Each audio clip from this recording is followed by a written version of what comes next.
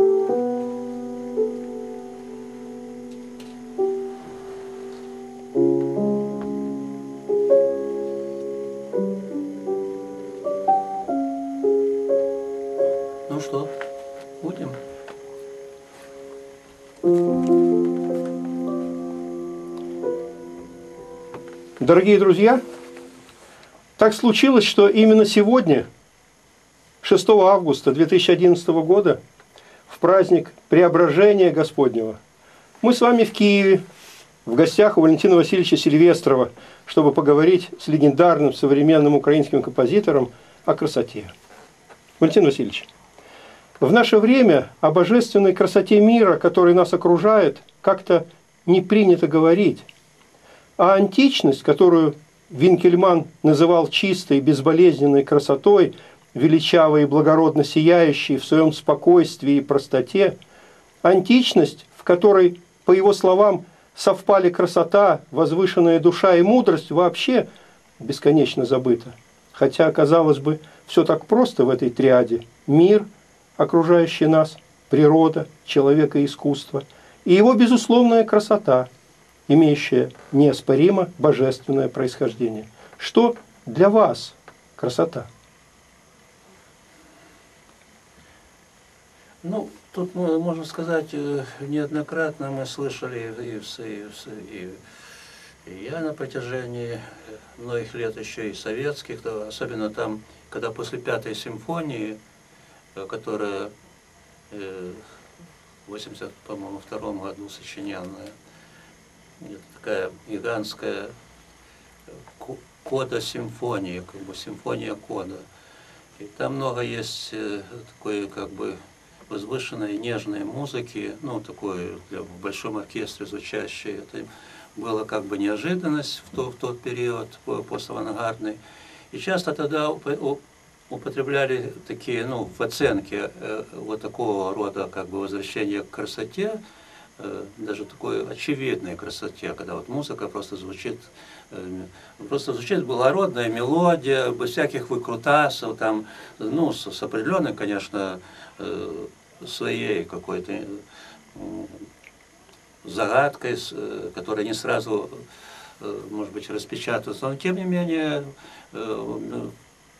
примерно то, то в этой мелодии может светиться, которое светится, например, какой-то э, тихий полдень, когда солнце сияет, э, и каждому человеку, независимо от его разума и его понимания, как-то вот становится в этот момент хорошо, и он даже не понимает, в чем дело. Не, он понимает, что солнце, там, тихо, тихо ветер веет, но это же есть такая красота мира, которая воздействует и на животных, и на людей, даже независимо от их э, образования и понимания. То есть есть такие явления, там ночь э, предзакатная или раннее утро.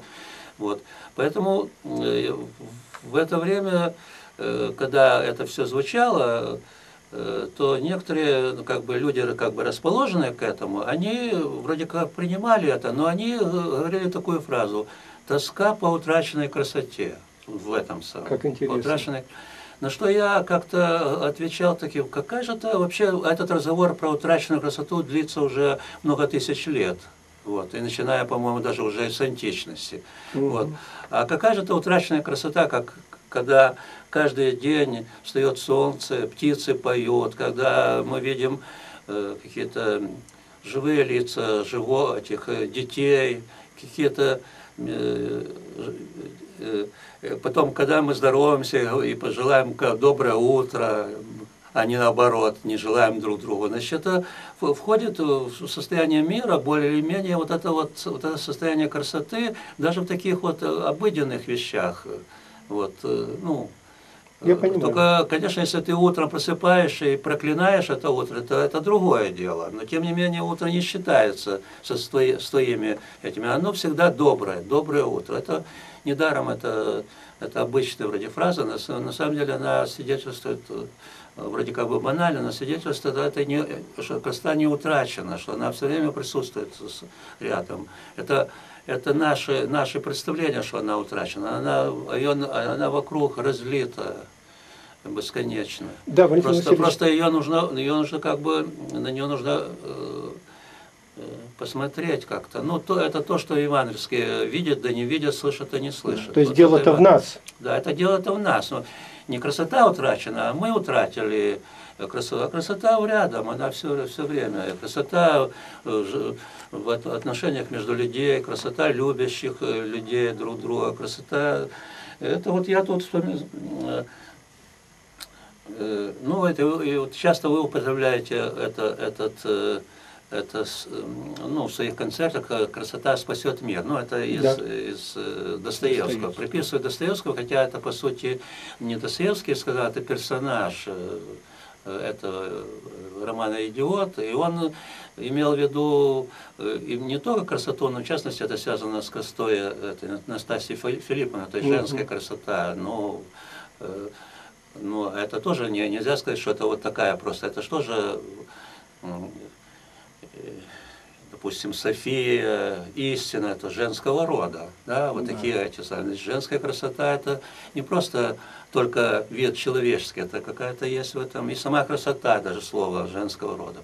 Поэтому тут возникает вот такая вещь. И, и, и вот это то, что красота спасет мир, а я э, где-то, где-то, сейчас, по-моему, у меня в одной книге э, э, Борхеса, стихотворение Борх, Борхеса, э, ну, я сейчас не найду, но там э, стихотворение только переведенное, переведенное на русский язык, но там перечисляются мирные занятия людей.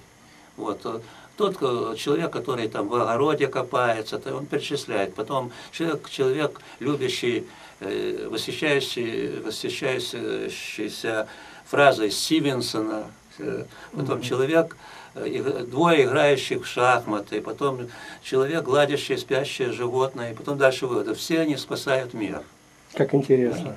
Понимаете, вот обычные занятия мирные, такие, которых есть в этих, в этих мирных занятиях есть, нет этой злобы, нет этой, есть какая-то красота вот, это, вот этих отношений таких. э, Потому что, если, потому что потом э, красоту начали искать и в, зло, и в злобном, например, красота гротеска там, или красота мусорника. Это тоже э, попытка а- эстетизировать даже вещи э, ну, неприглядные. И этим, ну, допустим, даже за- занимались художники прошлого, ну, допустим, даже и в Средневековье были, ну, гротескные эти, или же, допустим, капричоз вои, э, который уж- ужасающий, но там э, ужасное подано через... э, Ну, я не об этом. Я хочу сказать, что... Ну, а кроме того, вспоминается очень важная вещь, тоже какая-то вроде обычная, и все могут ее повторять, но тем не менее она есть. Это добро, истина, добро и красота. Это три, три, триада. Истина, добро и красота, а это, это, это, это то, что э, ну, на, на чем ос- основан как бы, ну, как бы мир держится. Тут, э, если, допустим, истину убрать, оставить только добро и красоту, так там оно начинает... э, То есть э, это друг друга как бы вза- взаимозаме- впитывающее. Если истина, так она впитывает и красоту, и добро. Если нет там ни красоты, ни добра, так это лжеистина. Это что и показала практика. Это Допустим, То есть некая взаимная уравновешенность. Ну да, если, если не, а если, понимаете, если, допустим, там фашизм или коммунизм говорят о добре, ну, коммунизм говорил о добре всего человечества, а там о добре какой-то расы, а при этом позволяли себе делать насилие там, и так далее, то есть, а это не входит в добро. Э, вот то, что называется такая лживая фраза «добро с кулаками», понимаете? Ну, ну так да. вот, вот добро с кулаками, это не значит, что добро, э, добро должно быть э, безоружно или в каком-то смысле, но, но не, не, не в этом смысле добра, что оружие или не оружие, это совершенно другие вещи. И вот эта триада, триада которая, которая друг друга подпитывает, и если, допустим, в добре нет ни истины и ни красоты, так это тоже будет вот какая-то тоже лже, что это, и, в общем, недаром это тро, троица, понимаете? Угу. Вот. И поэтому, ну, это, об этом как бы легко сказать, ну, и это как бы тривиально. Но тут по поводу тривиальной, тривиальности я хотел бы сказать, вот я тут обнаружил, обнаружил у, у Пастернака э, в его работе, его позднем, позднем люди, люди положения, такое, такое как бы автобиографический очерк. И там он говорит о Скрябине, о связи, когда он встречался с Скрябиным, подростком еще. И потом он э, говорит такие вещи. Вот я процитирую это лучше что. Вот он говорит так, люди, это по поводу вот этой, вот этой как бы обычные, как бы всем известно, что истина, добро и красота, вроде они спасут мир. Это, казалось бы, вроде всем уже на устах, все вот говорят, а на самом деле еще нужно, чтобы это ожило, чтобы это не было... И, ничего не надо выдумывать, уже все есть. Не надо не где-то, где-то уже... Но для того, чтобы это было, вот тут вот, вот тут вот и говорит очень хорошо, мне кажется, говорит, вот он говорит такую вещь, что люди, рано умиравшие, Андрей Белый, Хлебников и другие, некоторые другие, перед смертью углублялись в поиски новых средств выражения, в мечту о новом языке. Нашаривали, нащупывали его слоги, его гласные и согласные. Это вот, по сути, авангард делал, делал ну, в наше время. Угу. Вот. Ну, музыкальный. И вот дальше пацан говорит, я никогда не понимал этих розысков. По-моему, самые поразительные открытия производились, э, когда переполнявшее художника содержание не давало ему времени задуматься, и в торопях, торопях он говорил свое новое слово на старом языке, не разобрав, стал стар он или нов.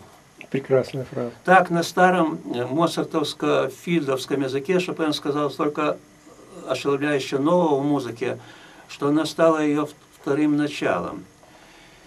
И вот, э, и так Скрябин, он считает, почти средствами предшественника обновил ощущение музыки до основания в самом начале своего поприща.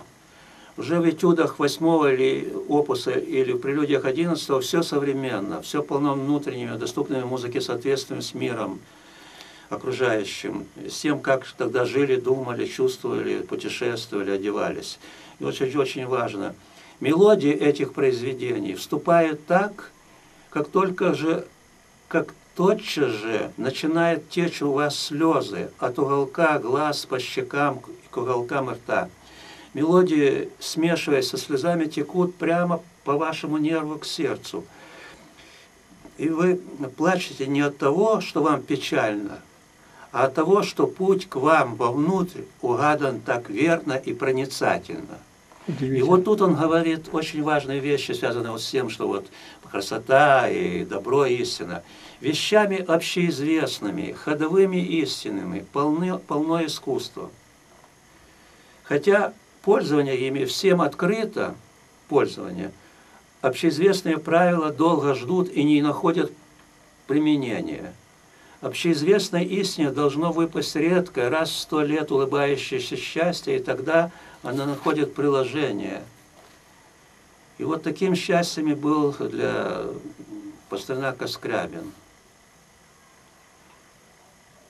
Э, ну, среднего, особенно, говорит, среднего периода.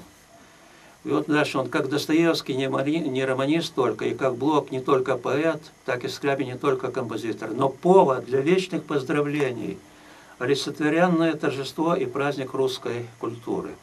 И вот тут получается, получается такая вещь, что Вообще, почему, почему мы вообще говорим, что а, о красоте? Ведь искусство не может существовать вообще как понятие, если в нем нет вот это. То вообще это ты должен просто, просто отказаться от того даже понятия искусства. Если Потому в нем нет красоты. Если, да, если нет красоты. Даже искусство сапожника или там это оно связано с красотой, хотя оно вроде функционально там и, и так далее. Это, суть.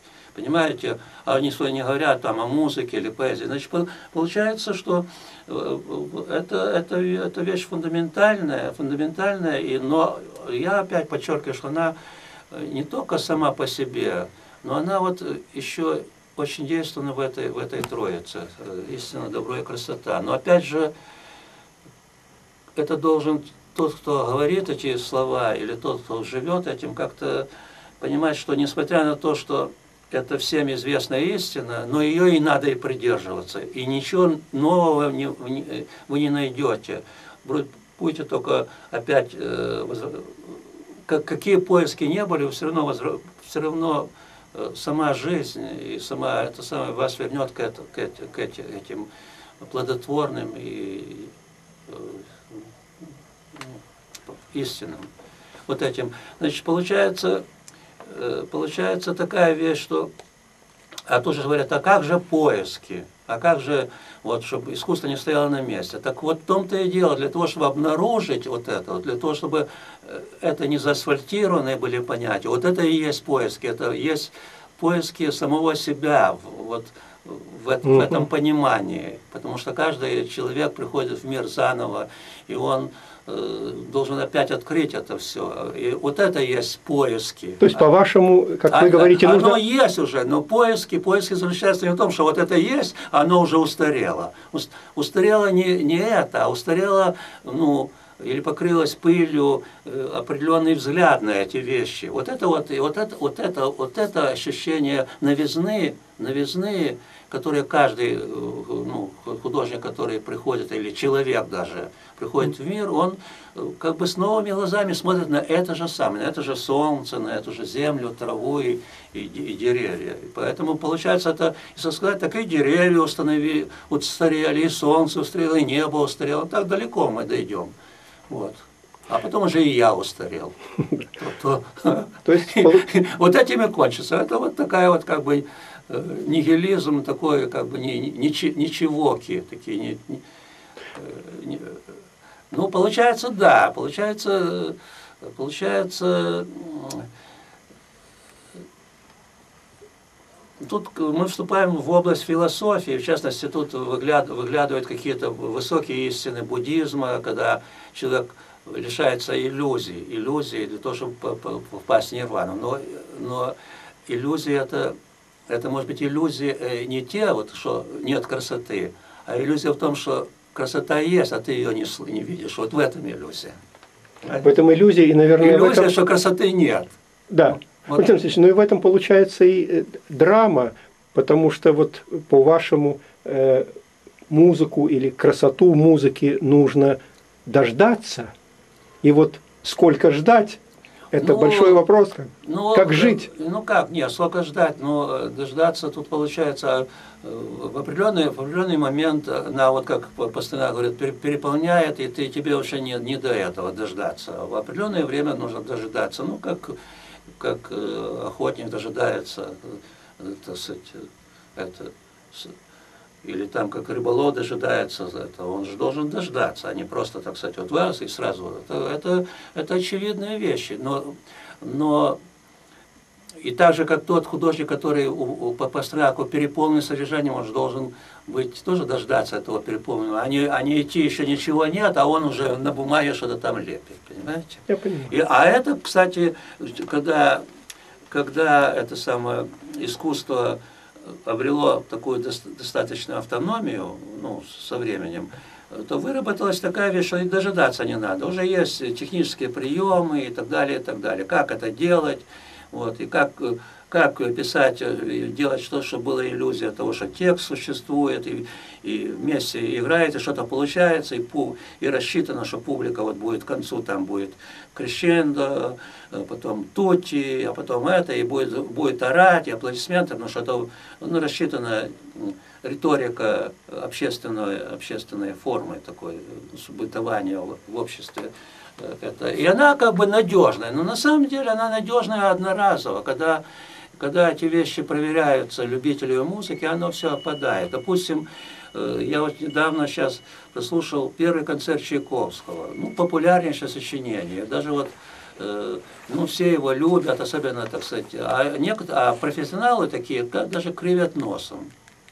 Профессионалы, что там есть кульминации, вот слишком, так сказать, открытые эмоции и так далее. Да, там есть это кульминация, там есть и рассчитанность э, риторическая на, на то, чтобы аплодисменты, вот, ну, как бы, знаете, вот когда вот э, ну, риторическая такая схваченность. Mm-hmm. Но если бы только это было. Но там же оно наполнено такими чудесами мелодическими, Конечно. такой схваченностью, потом какой-то такой страстностью даже если есть эмоция такая прямая, то она не, она-то прямая по общему, но по, по семантике она, она с, с такими ухабами, с какими-то неожиданностями. И я так поразился, что популярное сочинение, по, оно может быть популярное по этой линии, что оно сделано по законам риторики, ну, так сказать, ну, надежно. Но этого было мало, если бы оно еще не было пронизано вот этой красотой этих мелодий Интересно. Чудесных, этих каких-то э, э, главных тем и так далее. Понимаете? И, и тогда эта риторика, она озарена какой-то невероятной, невероятной, ну, как вот бывает такой вот день, такой раз, солнце в разгаре, да, торжество, все это. Э, оно банально, но оно же, оно-то банально, но в этой банальности чувствуется неподдельная сила даже если эмоция, допустим, прямая такая, ну вот кульминация, то но в этой кульминации, когда вступает э, сама кульминация, то в этой кульминации еще поверх этого э, какие-то молнии или какой-то невиданной красоты орел э, парит в этой кульминации, орел как тема, понимаете? Вот, вот в чем дело. Значит, получается, получается вот такая, такая вещь, Теперь еще одна, одна что, конечно же, вот такой концерт, концерт Чайковского, такой, который популярный во всем мире и очень публично, он всегда имеет большой успех. Конечно же, может быть, его сейчас и трудно слушать, ну, как, как бы у себя дома там и так далее, ну, не, ну, может быть, и в концерте. И тут про это, э, про это но тут э, причина не в Чайковском и не в этой, в этой самой, а причина в состоянии мира. И вот об этом очень хорошо э, сказал, сказал э, Аверинцев, он в предисловии к, к, к стихам Ольги Седоковой, угу. выдающейся русская поэтесса нашего времени. Вот он сказал такую вещь, это предисловие он, он сказал, э, э, он сказал такую, такую, такую вещь. Акустика э, нашего времени, акустика, ну, после ну, 2000 года, это 2001 года предисловие написано. Акустика этого времени нашего так неблагоприятно для повышения голоса, для оркестровых тути, словом, для патетики. Интересно. Э, потому что он считает, что вот именно в 20 веке зло было очень патетично. Ну вот, понимаете. Да. Ну, естественно, искусство тут не, винова, не виновато, но в каком-то смысле, когда оно совпадает, то вот возникает такое, это, я говорю, может быть, это, это временная э, позиция, но, но э, но, но тут если вспоминаешь по поводу вот этой патетичности и такое, такая, э, что это не только акустика нашего времени, но, по-моему, тут глубже, глубже вопрос. Может быть, это не только нашего времени, потому что в Библии есть э, так, такая, такая фраза, что э, вот грянул гром, там, это самое, там, но не, но не в этом был голос Бога. Потом глянуло там, горы обрушились, не в этом был тоже голос. Поте, повеял тихий ветер, в нем был голос Господня. То есть, то есть какая-то парадоксальная вещь, что нельзя обольщаться масштабами.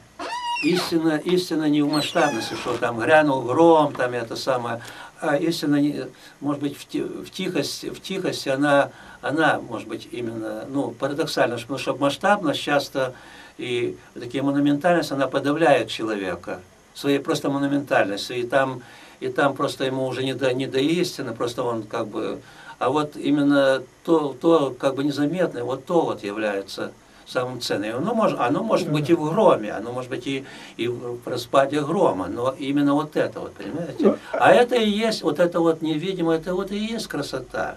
Потому что красота вот как просто вот такая, ну просто это одно, а с другой стороны красота может быть и пронизывает даже какие-то вещи, которые внешности некрасивые. Например, красота какой-нибудь Э, какого-нибудь э, лица, которое по внешности может быть изуродовано, там, то ли, то ли какими-то шрамами, то ли просто ну, природа, а, а красота светится через глаза, например, mm -hmm. через улыбку.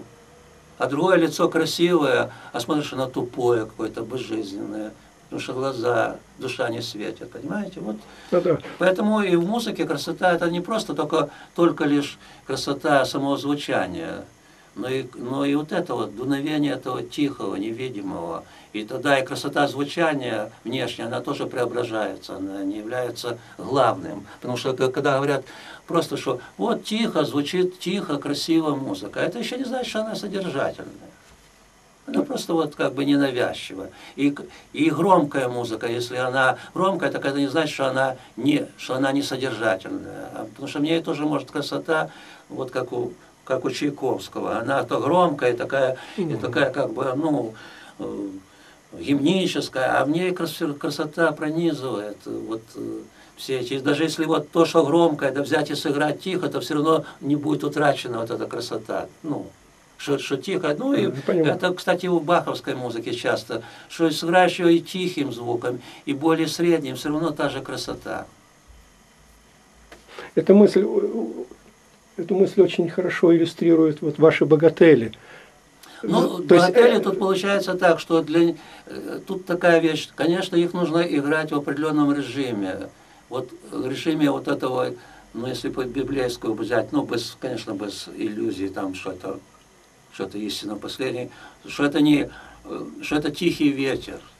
Тихий если ветер. взять это, то, конечно, такой тихой музыки ну, масса есть и в кинофильмах там и так далее, но это еще не значит, что там есть это. Конечно. Но условия для, для этого до, должны быть какие-то определенные, определенные условия. Это особая форма изложения, э, особая бережность отношения к звуку, но Этим оно не ограничится. Это как бы условие для проявления. Это тот тихий ветер, но в нем еще должен быть голос этой красоты. А голос этой красоты – это какая мелодия в этом возникает. А часто мелодию эту и не слышат, а просто слышат только эти внешние параметры этой красоты, что это нежно и тихо. А что нежно и тихо?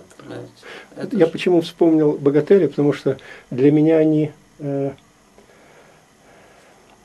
для, их воздействие для меня можно э, описать так.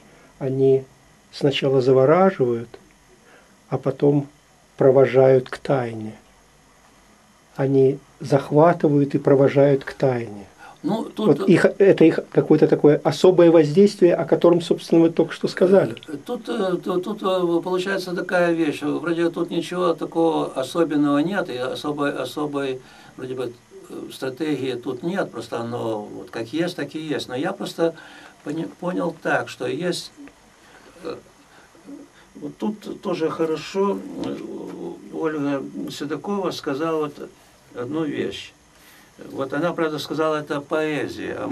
Она говорит, э, она говорит такую, и вновь требуется более прямое, исчеза, исчезающее перед своим предметом слово.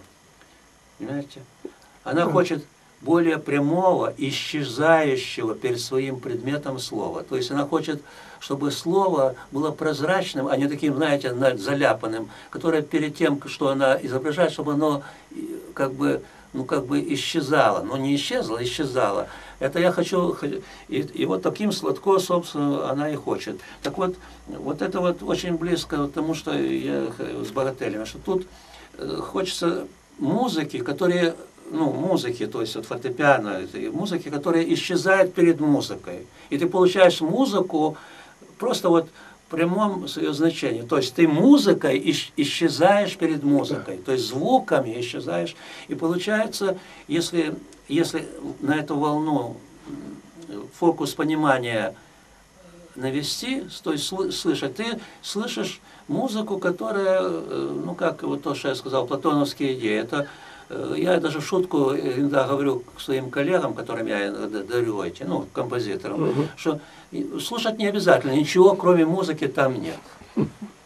И, и, ну, в этой шутке есть уже, что именно, именно, вот, именно музыка в самом таком как бы первичном виде, которого, которое, ну, как зерно, э, Понимаете, зерно, в зерне уже есть и дерево, и цветы и так далее. Ну, или же вот как идея, платоновские идеи, что э, Платон, платоновские идеи это те, это предметы все, и все, весь мир это, это тени от, от тех, да. или, или наоборот, или наоборот, платоновские идеи это тени, а это э, овеществление этих теней. Понимаете? Вот. Так что тут получается, что э, такое ощущение должно быть, э, когда ты слушаешь эти вещи или когда играешь, кто-то играет, что, музыка, что ты не играешь музыку кому-то, а ты находишься в такой зоне, что музыка перемещается в твое сознание, она там звучит, она звучит э, как, понимаете, получается так, э, свойство обертона. Ты нажимаешь, струна звучит, и ты нажимаешь в определенном месте легкое прикосновение, и вдруг возникает от этой струны обертон. Отклик. То есть не тот материальный звук, но все же этот звук, но там на октаву выше, или на две октавы, или там децим и так далее. Так вот, это метафора. Вот в этих отелях тоже, вот это благодаря этому прикосновению, какое-то странное ощущение, что музыка как бы сама возникает, а, а не материализуется, mm.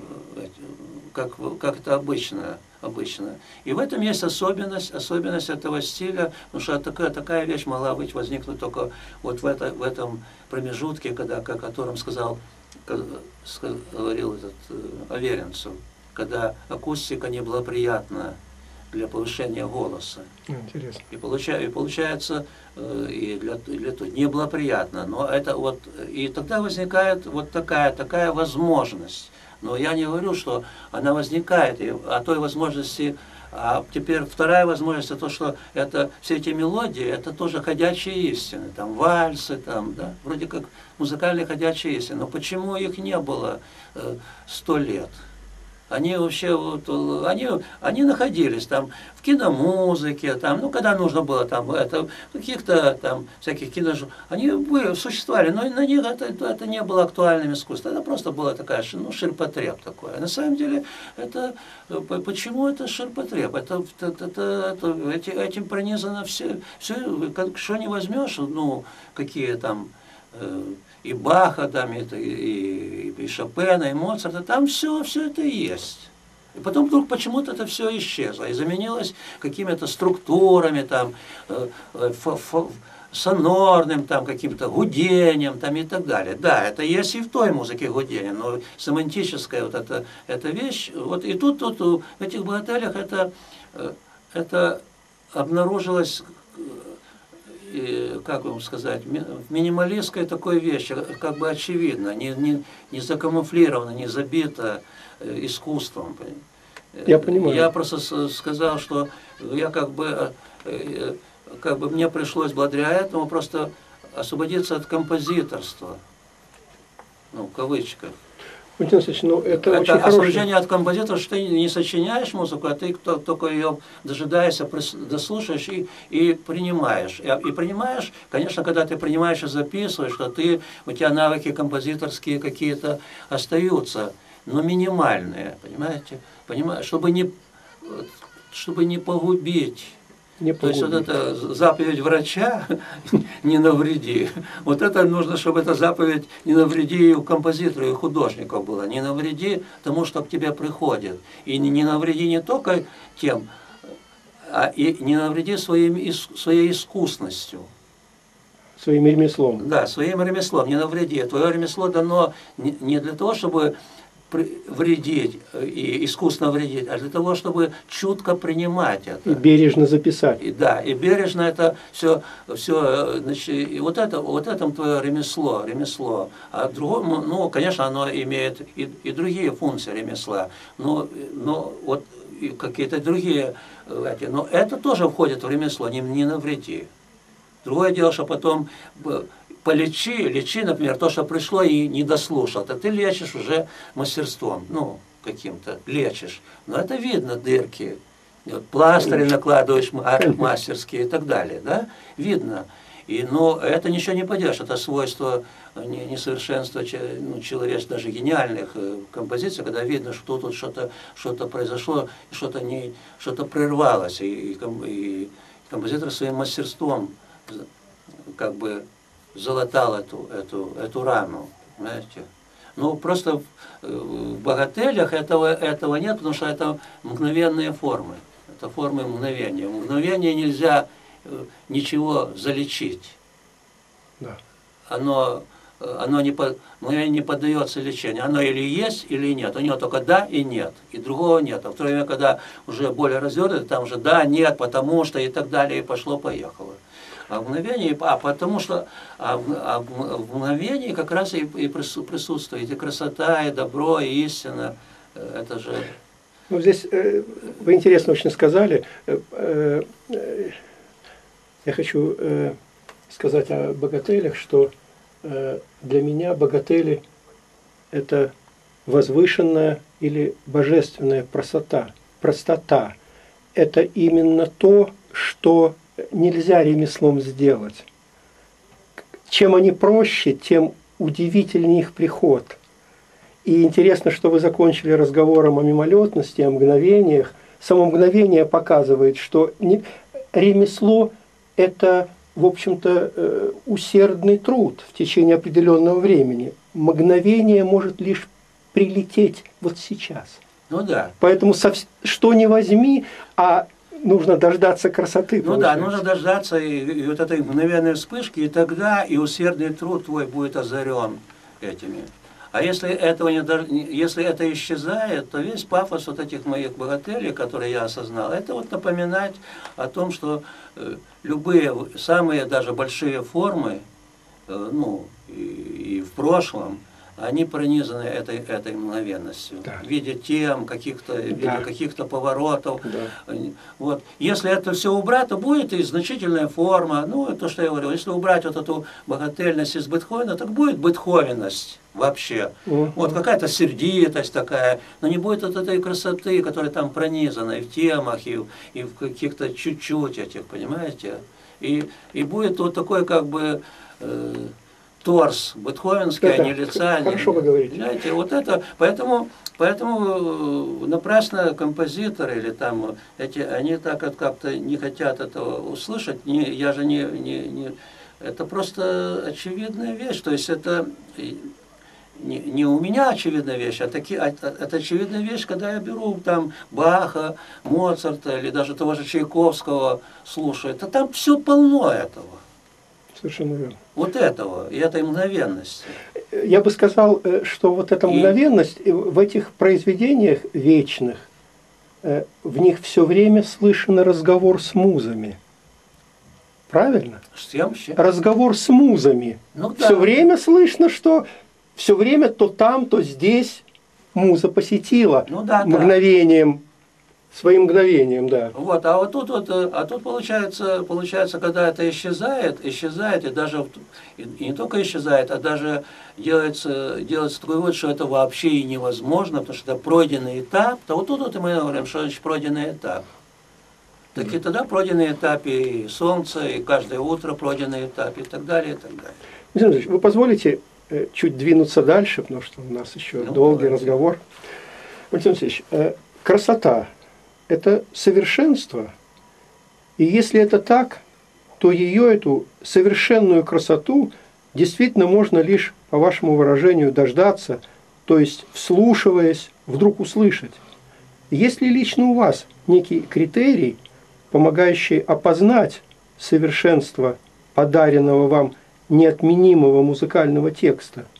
И занимает ли мелодия какое-либо место в этом критерии? Ну, во-первых, вот эта мелодия занимает главенствующее в этом. В этом. Это, это потому что, когда э, регистр ну, музыкальных средств сведений до минимума, это как раз и остается мелодия и арпеджио, и все. Это тот минимум, который, который, которым обладал Орфей, между прочим. Но который, но который завораживал весь мир.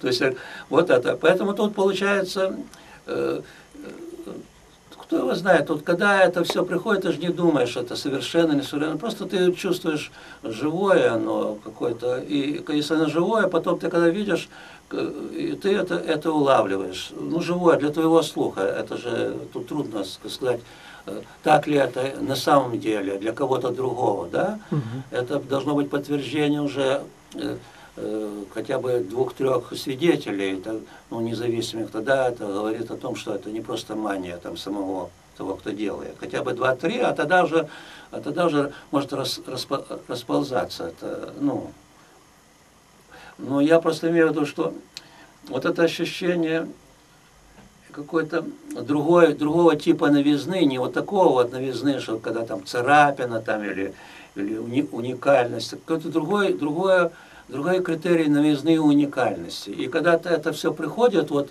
в таком как бы, э, э, как бы, как это назвать, воз, как вот э, есть такое выражение у, у, у Плотин, Плотин, Плотин, да. Угу. У него есть такое выражение, связанное с экстатическим, взлететь над знанием. Да, да. Вот да есть это. Энеадах его. Когда, вот ты как бы взлетаешь, когда ты восхищен в каком-то смысле от, от, от, от знания ну, музыкального, ты это все видишь. Потом, когда ты э, уже играешь, ты смотришь, оно уже тут. Уже как бы, уже оно, оно уже как бы, как бы хотя бы для тебя, оно, оно преодолело вот этот невидимый, невидимый барьер, разделяющий что от ничто. И оно уже тут. И ты смотришь, так это же вот простая там какая-то там, это соль мажор, это простая. Но да, это так, но, но, но оно уже тут. Потому что если бы оно, если бы это не было определено, а я начинал бы с этого, то оно бы никогда не перескочило сюда. Потому что барьер заключался в том, что я говорил, я себе говорил, так это же вот то, оно же уже всем известно. Вот это барьер был.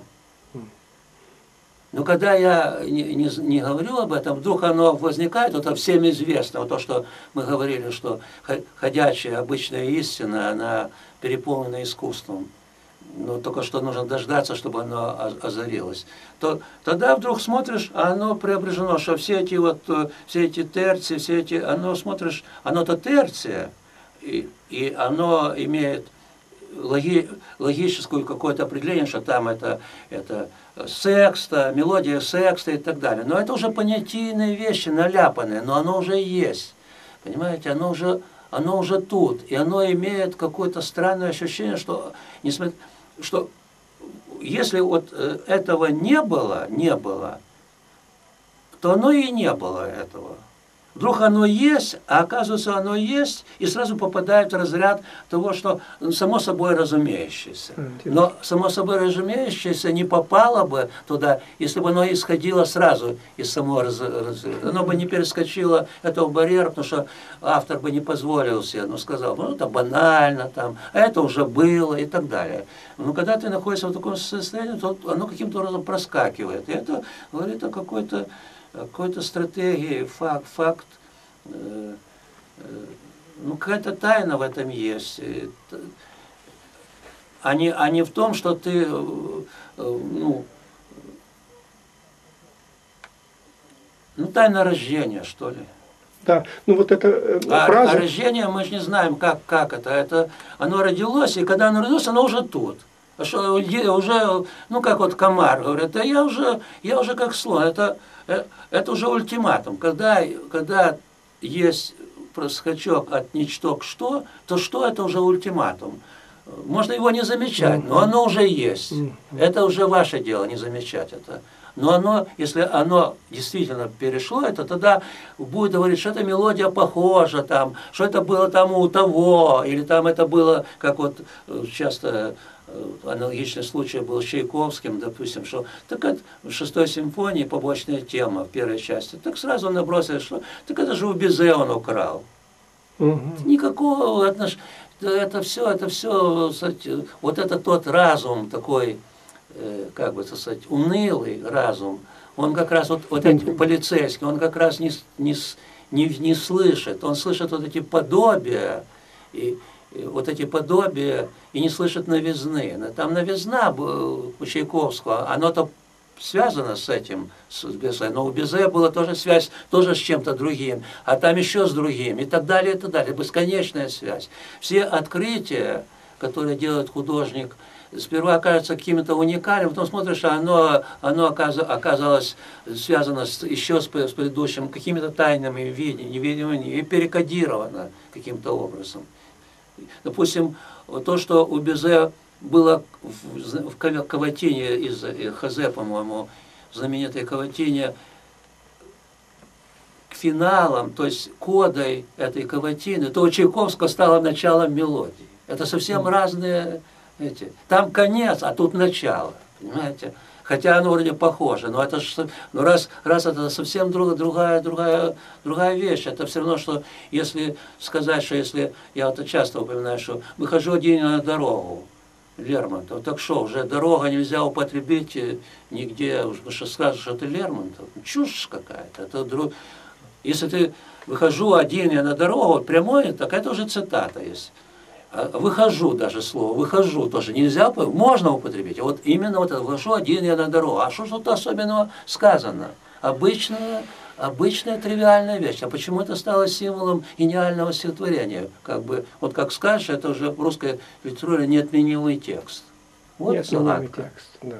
А это же загадка как в этих, в этих богателях. Надеюсь, я не говорю, что я только надеюсь, что может быть вот эти вот, вот эти вот мелодии, простые такие, как бы наивные. Может, они тоже вот как выхожу один на дорогу. А если вот просто знать и как бы к ним привыкнуть, так они будут вот, вот такие вот, и, ну, неотменимые. То есть вот э, как-то, как знаете, вот удавшийся текст, ну, это перпетум мобил, это вечный двигатель. Вот сколько ни слушай, оно всегда все лучше и лучше, потому что не в информации там дело. Да. Не только информация. То есть сперва информативное есть, а потом даже уже информация есть, просто ты любишь это. Оно, оно, Звук начинает оно, быть, оно да. опирается не только на твой разум, а на любовь. А любовь это вбирает в себя и разумное, и так далее. И ты уже не ты же любишь не за то, что в нем там э, хорошо зарифмовано. Ты просто любишь это стихотворение. Хотя оно подается анализу там и так далее. А вот э, и поэтому тут возникает, возникает э, вещь, что, э, что вот эта абсолютная красота, абсолютная, наверное, это связано с любовью, как, как высшим качеством человек, человеческого. Ну, она что же разная, разная. И если текст, вы, даже самый или, или могучий, или даже самый наивный, простейший текст, э, любимый как-то, он, допустим, и даже если взять там однозвучно гремит колокольчик Гурилева, ну, любимая песня, она же очень наивная, ну, любят ее. Или, допустим, э, Полонеза Гинского, любят, ну, почему любят? Это удавшаяся мелодия, удавшаяся. Там уже и ворочают там носом эти самые, э, э, эти профессионалы, а тем не менее они все равно вынуждены считаться, что ну вот любимая вещь, а, а и нужно задуматься, почему она любимая, потому что там нет, э, нет э, мощи искусства как такового, но там есть бережное, бережное принятие этого дара, который был подарен в этой мелодии, понимаете? Вот. Да. В общем, это я, кстати, говорил, допустим, э, в полемическом тоне, говорил о, однажды о, об этом знаменитой, знаменитой в знаменитом «Лебеде» этого Сен-Санса. Дело же не в том, что я Лебедя кстати, считаю, что это ну, вершина музыки. Но у меня было такое чисто случайный опыт, что я был в Германии, и там в одном доме остановился, вот, хозяева уехали, я там месяц жил, и там хорошая фонотека, я там слушал немецкую авангардную музыку, ну, современную. И слушал, так сказать, ну, всех таких э, знаменитых композиторов, там, современных, Штатгаузен, там, э, Ксенакис, ну и не только немецкие. Ну, потом случайно я так смотрю, тут какая-то какая пластинка, смотрю Сен-Санс. Думаю, за чего я его взял, поставил этого Сен-Санса, а там ну, как раз «Лебедь», э, это, ну, вот эта пьеса. И вдруг я обнаружил, только что я слушал, ну, не то, чтобы я критиковал, ну, как-то слушал. И вдруг смотрю, этот, этот наивный сенсанс, наивный, я же не поставил там ни Баха, ни Моцарта, а вот такую вот как бы простую такую пьесу, но любимую тоже. Вот. И вдруг я смотрю, куда оно все девалось, все остальное. Оно, это сенсация сдуло как ветром. И я так я так, я так подумал, что же это такое вообще? Ну, я на себе это испытал. Просто оно куда-то, как, а это вот, а что если бы я поставил бы там Баха или Бетховена там, так куда бы оно делалось? Если оно от, сенсанса, не претендующего на что, а претендующего только на, на удачную, ну вот тоже как бы богателька тоже такая, на удачную мелодию, которую любят. И даже, может, она уже и надоела, а тем не менее, все равно любит. И она делает такую, такой эффект, так это же это ж тоже урок колоссальный. Что же это такое? Понимаете? Это, это же урок, это я не значит, что все должны писать как сенсация. Это урок, как бы. Посмотрите. Надо что-то что с этим, надо на это что-то ответить. Вот. Э, знаете, вспоминается вот э, в контексте... Но это не урок вот тот, чтобы это не путали, что это вот как вот там вот, когда в советское время там, что надо писать, чтобы музыка была простая, там, это то, то все треп, то все полное, знаете, вот э, то, что это, это вот по внешности похоже. Мне иногда говорят, так это ты же говоришь, что как Жданов говорил там в 48 году. Я ему говорю, так вот Ладзы, вот у него есть такая высшая мудрость, похожая на глупость. Похожа на это, это совсем другие, другие вещи. Это опять тоже упирается. Слышат, да не слышат, видят, да не видят. Вот да, да, музыка должна быть там такая-то мелодичная. Но это под мелодией понимал тривиальная, обычная, обычно не, никчемная, так сказать. Он, а мелодию там-то у Шостаковича Прокофьева он даже и не думал, что то и мелодии. Но дело не в этом. Дело в том, что иногда те же самые слова, один, один говорит этими же словами истину, а другой эти слова говорит глупость. Каким это образом? Вот это Ладзе, это я определил. Там вот это чуть-чуть играет, контекст. Понимаете? Я еще думаю, что э, да, самое главное не контекст, а просто вот то, что вот, ну, слышат, слышат да не слышат. Ну, вот, ну, а, а, а, а что ж тут поделаешь? Ну, не, нельзя же сказать, что ты э, другому человеку, что ты неправильно слышишь. Ну, ну, он слышит, как он может, понимаете? Как Просто может, единственное, единственное, может быть, тут шанс есть, что все должны знать о такой, о, о такой проблеме. Все, которые и претендуют на что-то, что не слышат, и те, которые не претендуют на то, что они все же и тот, кто претендует, и тот, кто не претендует, он должен знать об этой проблеме, просто для себя. Чтобы, допустим, тот, кто претендует, чтобы не попался в такую же, в такую, чтобы тот, кто не претендует, может быть, даже ближе к этому, потому что он хоть робко говорит, я не понимаю, понимаю, хотя бы. Он хотя бы признается, что я не слышу. А ведь тот, кто говорит, я слышу, а ты не слышишь, вот тот самый опасный. Это Конечно. вот фарисейство называется. Конечно. И в музыке, и он, оно распространено среди профессионалов со страшной силой. Фарисейство. Вот это гордость вполне обоснованная, конечно, гордость своим умением и так далее, но это но нужно не забывать, что кроме умения есть еще за, за пределами этого умения что-то.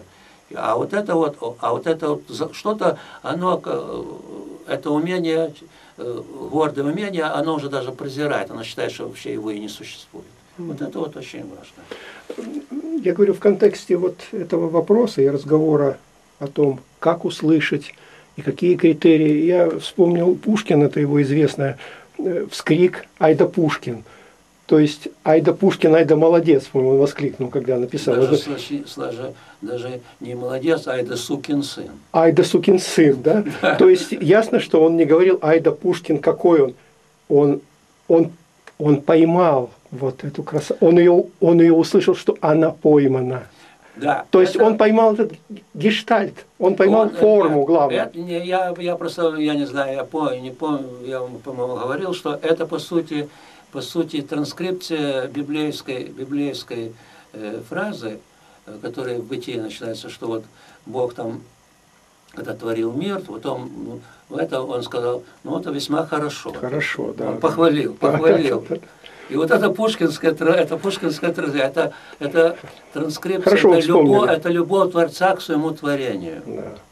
Но, Понимаете, но, но это... Вот, это любовь Творца к своему творению, но она может быть и ложная, она может быть, ну, знаете, эгоистичная и так далее. Но это тоже в природе и материнство, и отцовство, понимаете, это тоже входит в вот эти ходячие да, да. истины. Да. Понимаете? Но, но это удивительно, это получается и, такое мимолетность опознавания. Вот ну, этот да. миг, ну, он что, поймал. И ну, он... Потому что у Пушкина выдает, что это не простая любовь такая эгоистичная, а знаете, вот это айда. Айда. Вот это айда. Вот это, вот это мгновенность опознавания. Да, мгновенность. Мгновенность опознания. Не такое, знаете, опознавание такое серьезное. Да, да, да. А Профессорское. Такое, а такое какое-то азартное. Азартное. Вот, да, да, да. Вот это, вот это айда как раз и, и делает эту, эту, это признание не, хвост, не хвастливым, а каким-то трогательно. Трогательно. трогательно. Да. И еще мне здесь показалось интересным э, такая мысль, что вот похоже, вот ваш разговор и э, все, что вы говорите, похоже, что музы, когда разговаривают с творцами, они исподволь всегда ведут к целому. Даже если разговор идет кусочный и островной, как вы сказали, что в любом произведении мастера угадывается там, где миг пришел, где муза что-то сказала, но муза всегда ведет к целому, всегда получается то, что написано, то, чем мы восхищаемся, то, что мы, вы называете неотменимыми текстами. То есть это интересный такой э, алгоритм э, помощи муз. Они не просто подсказывают местами, а они как бы подводят к тому, чтобы вот к этому восклицанию Айда Пушкин, к этому целому, как богатели. Вот она есть, она уже написана. Хотя кажется, что какие-то идеи приходили в разное время, и, может быть, между ними даже как-то нет ничего общего – но на самом деле вот мне так кажется, что если уж муза помогает, она помогает до конца, до вот этого гештальта, до последней капли, когда айда, вот оно. Ну да, айда. Тут получается вот этот богательный стиль, э, он, э, конечно, он возник, возник, возник спонтанно, без всяких вот этих вот э, кстати, претензий на то, что я потом говорю.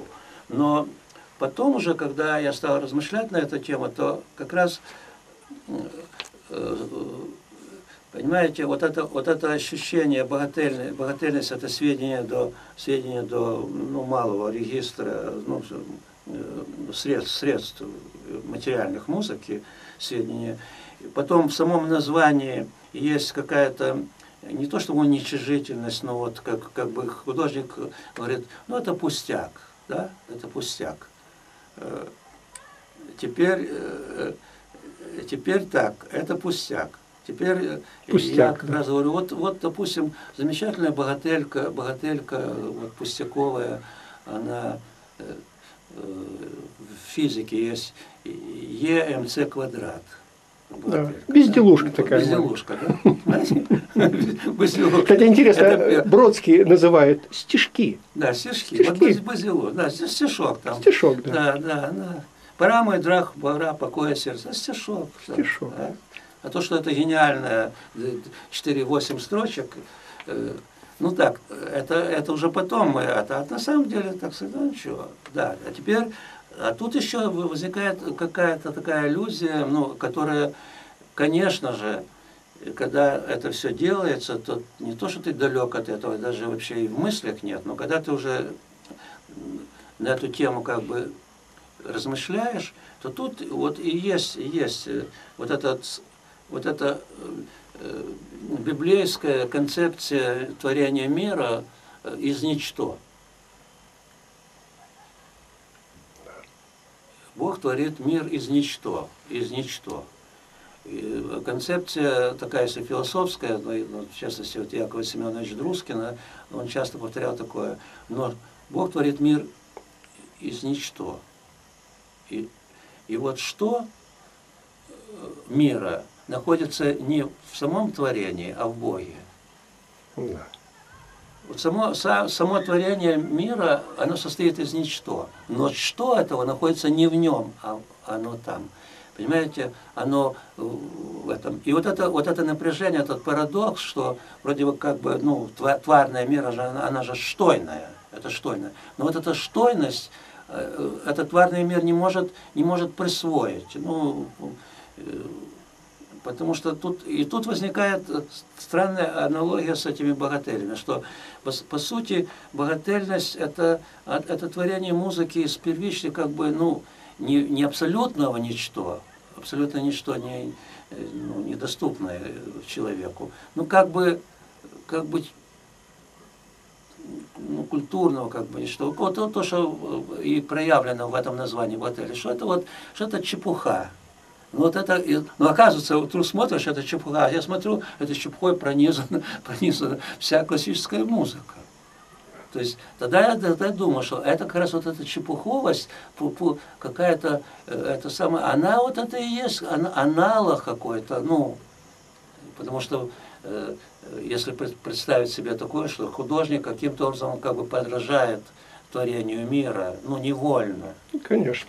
И невольно, не специально подражает, а как бы вот и в, как бы в другой ослабленной, в другом, в другом виде, в другом регистре он это, он это делает. Так вот, как раз вот это, вот это и есть. И, и кстати, э, тут э, была большая, большая, большая концепция э, и, вот это, вот, это, вот это творение из ничто, которое вот Шонберга Шонберга, да. Шонберга, который пришел к, вот, к этой концепции, что мы, 12 тонн, что мы опять делаем музыку из, из отдельных звуков, но, но объединяем их уже своей волей соединяем там и так далее, в то время, когда тональная система уже имеет блоки слов там и так далее. Ну, это тоже была идея, идея вот такая творение мира из ничто, но она как, каким-то образом, что-то в нем было слишком буквалистское это, было, это напоминало бы то, что если бы поэт сказал, что поэт сказал бы, русский поэт, что э, поэзия состоит не из слова, а из букв. Знаете?